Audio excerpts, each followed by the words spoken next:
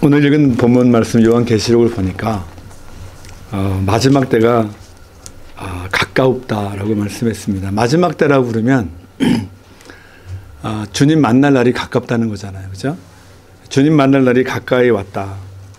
아, 주님이 다시 오시는 때가 가깝다고 표현할 수도 있지만 아, 우리가 주님께로 갈 수 있는 시간도 가깝다고 표현될 수가 있습니다.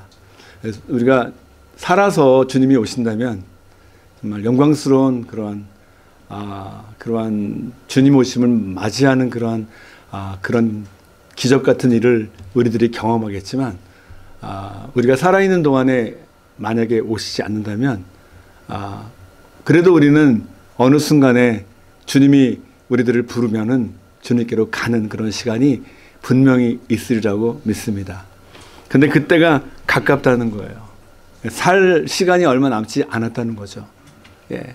아, 요즘에 그 한국 사람들의 그 기대 수명이 여자 같은 경우는 90이 넘었다고 그러더라고요. 그래서 아, 웬만한 사람도 이제는 100살 사는 거 그렇게 아, 귀하게 보이지 않을 만큼 아, 수명이 늘어났습니다. 그렇지만 100살이라고 하는 인생의 삶이 하나님과 사는 영원한 시간과 비교하면 너무나 짧은 시간이라는 거 여러분 아시죠? 그러니까 우리가 100년이라는 시간을 살면서 오래 사는 것처럼 보이지만 정말 우리가 주님께 갈 수 있는 시간이 얼마 남지 않았다는 것을 우리가 누구라도 부인하지 없을, 없을 줄 믿습니다. 정말 마지막 때가 가까이 왔습니다. 요즘에 세상 돌아가는 이치를 보거나 자연의 현상들을 보면서 정말로 내가 살아있을 때 주님이 오실 수 있겠다는 그러한 생각이 너무나 가깝게 느껴집니다. 이런 때 우리가 어떻게 살아야 되는지 주님께서 요한계시록 1장 1에서 3절 말씀을 통해서 우리에게 교훈하는 말씀이 있다고 저는 믿습니다. 우리가 말씀을 읽고 말씀을 듣고 그리고 말씀은 지키는 자로 살아야 될 줄 믿습니다. 이런 사람들이 진정한 복 있는 사람이라고 성경은 가르쳐 줍니다. 3절 말씀 다시 한번 읽어볼까요? 이 예언의 말씀을 읽는 자와 듣는 자와 그 가운데 기록한 것을 지키는 자는 복이 있나니. 아멘. 아멘. 예, 무엇이 복이 있는 거냐면 말씀을 읽고 듣고 지키는 자가 복이 있다고 그렇게 말씀하십니다. 빌립보서 4장 9절에도 사도 사도 바울이 마지막 때가 가까이 왔다. 너희가 내게 듣고 보고 배운 것을 뭐하라? 행하라. 아멘. 우리는 우리가 말씀을 듣고 말씀을 읽고 우리가 배운 것이 있다면 우리는 그 말씀을 지키고 행하는 사람이 되어야 될 줄 믿습니다. 그래서 이번 2024년도는 우리 아, 미, 주연합 장로회 총회 우리 목사님들이 그 어느 때보다 더 열심히 말씀을 읽고 그리고 말씀을 듣고 그 말씀을 지키는 삶에 한 걸음 더 다가서게 되기를 축복합니다. 아멘. 아멘. 할렐루야. 벌써 말씀을 많이 읽고 말씀을 많이 알이라고 저는 믿습니다. 아, 저보다도 더 연세 많으신 분들, 저보다도 더 목회 경험이 많으신 분들, 분명히 성경을 해석하는 거나 성경을 이해하는 거나 아, 가르치는 방법이 훨씬 더 많은 경험과 지식이 있으리라고 저는 생각이 듭니다. 자, 우리가 많이 말씀을 안다면, 말씀, 말씀이 많이 우리에게 들렸다면, 우리는 그 말씀을 지키는 데 포커스가 더 맞춰져야 될 줄 믿습니다. 예, 지키는 자. 여러분, 지킨다는 말이 뭐예요? 지킨다. 예, 지킨다.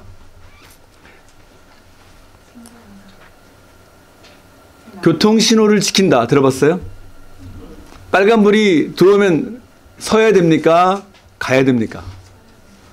빨간 불에는 가야 되죠. 빨간 불에는 가게 되면 사고 납니다. 어떻게 되죠? 빨간불에는 서야 됩니다. 이거는 사실은 어린 아이도 알아요. 제가 우리 손주랑 같이 요즘에 행복한 시간을 보냅니다. 아, 우리 손주가 지금 4살 반쯤 됐는데요. 이 아이가 인도네시아 선교 엄마 아빠 선교사로 이 우리 온유가 따라가서 이 아기 선교사로 활동을 하고 있는데 지금 아, 귀국해서 저희 집에서 어, 이제 다시 나가기 위해서 준비하면서 저희 집에서 같이 있습니다. 얘가 얼마나 사랑스럽고 예쁜지 몰라요. 아, 그런데 우리 손주를 데리고 길을 운전하고 가다 보면 빨간 신호등이 들어오면 얘가 뭐라고 그러냐면 red color stop red color stop 예. green color go 그러면 yellow color slow down 4살 반인데도 알아요. 예, 성경을 아는 것과 성경을 지키는 게 다른 거죠. 교통법규를 아는 것과 교통법규를 지키는 건 다릅니다.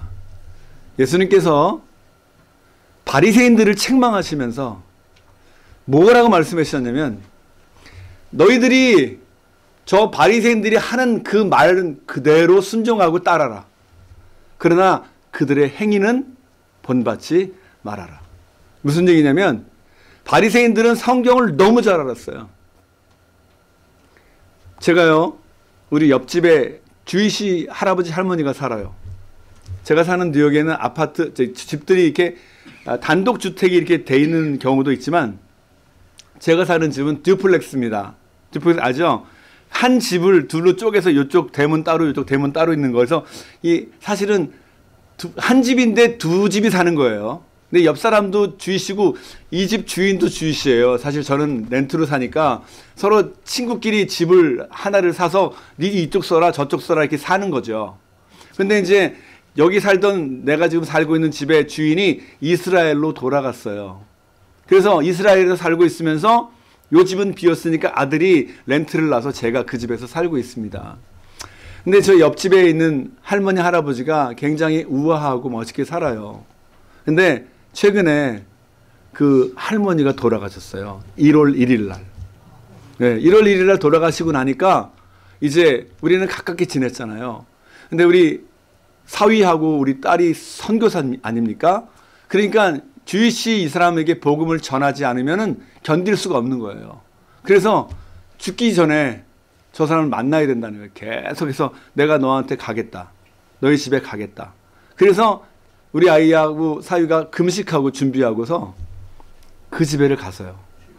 근데 그 이제 그, 어, 그 할머니가 병원을 왔다 갔다 굉장히 뭐라 우아하게 잘 이렇게 아름답게 사는 분인데 어느 날 갑자기 얼굴이 노랗더라고요. 그래서 어? 저분 얼굴이 왜 저러지? 내 느낌으로 얼마 못 살겠다라는 생각이 드는 거예요. 그래서 우리 사이한테 시간이 없다. 근데 왜냐하면 제가 전도하면 제 영어 실력이 딸리니까 사실 굉장히 어려운데 우리 아이들은 영어권이잖아요. 그래서 얘네들이 금식 기도하고 준비하고 갔습니다. 가서 그 집에서 기도해주고 예수 그리스도 복음 전하고 그렇게 해서 어, 복음을 전했어요. 근데 받았는지 안 받았는지는 정확하게 모릅니다. 그런데 그 사람이 죽고 나서 제가 장례식을 갔어요. 그 주이시 장례식에 이방인으로서 동양인이 아무도 다 빵똥 모자 다 쓰고 있는 그곳에 제가 가서 앉아갖고 어, 장례식을 참석했어요. 그랬더니 라바이가 와가지고 어, 그래서 장례를 집례하는데 세상에 성경을 안 펴요. 줄줄줄 외우는 거예요. 10편, 90편을 외우는데 처음부터 끝까지 줄줄줄 외우는 거예요. 물론 우리 목사님들도 성경 외우시는 분이 있잖아요. 근데 이분이 그 장례를 집행하는 동안에 읽는 성경책을 한 개도 펴지 않고 외워서 하더라고요. 그래서 내가 그래서 야, 저 사람 대단하구나. 나는 성경 폈을 텐데 내가 거의 외웠어도 저는 사실 앞에 서면은 혹시라도 틀릴까봐 사도신경도 제가 펴놓고 하거든요. 그런데 말씀을 줄줄줄 외우더라고요. 그래서 야 정말 라바이들이 보통이 아니구나. 제가 그것을 느끼고 왔어요. 사실 예수님께서 그 바리새인들을 지적하고 얘기했을 때 그들이 그랬거든요. 바리새인들은 토시 하나 놓치지 않고 달달달 외웠어요. 어려서부터 그렇게 하지 않으면 라바이가 될 수 없거든요. 굉장히 성경에 대한 지식이 물론 신약은 이 사람들이 읽지 않겠지만 구약에 대한 성경은 얘들이 쫙 깨는 거예요. 처음부터 끝까지. 근데 예수님께서 뭐라고 말씀하셨냐면 그들을 책망하셨잖아요. 그들의 악함을. 왜? 그들은 말씀을 너무나 잘 아는데 말씀을 지키고 행하는 것에 전혀 관심이 없는 거예요. 자기 손가락도 움직이지 않는 거예요. 여러분, 이 말씀이 바리새인을 가리켜서 지적하는 하나님의 예, 예수님의 말씀이 우리들을 지적하는 말씀이 아닐까 그런 생각이 드는 거예요. 사실 목사님들 앞에서 설교하는 게 얼마나 어렵습니까? 어, 나도 알아. 네가 무슨 요지로 말할 거 나도 알아. 왜? 내가 그 문장 본문을 가지고 설교를 여러 번 했거든. 그러니까 분명히 무슨 얘기 할 거다. 나도 알아. 나도 알아. 나도 알아. 우리 온유도 알아요. red color stop. 여러분 말씀을 듣고 말씀을 배우고 우리가 말씀을 가르친다면 먼저 우리가 정말 말씀대로 살려고 그것을 지키려고 애쓰는 그런 저와 여러분 되기를 예수님의 이름으로 축복합니다.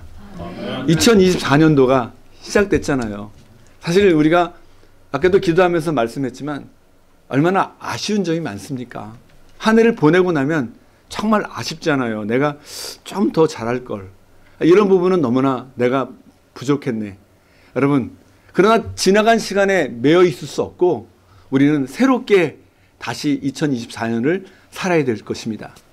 그러니까 여러분, 결단하시고 말씀을 듣고 말씀을 배우고 말씀을 지킨다면 말씀대로 우리가 주 안에서 기쁨을 누리고 말씀대로 주님이 주시는 평강 안에 살고 여러분 세상 사람들에게 정말 믿는 자로서 정말 관용을 베풀고 드러내고 이렇게 영광 돌리는 그런 삶을 살아야 될 줄 믿습니다.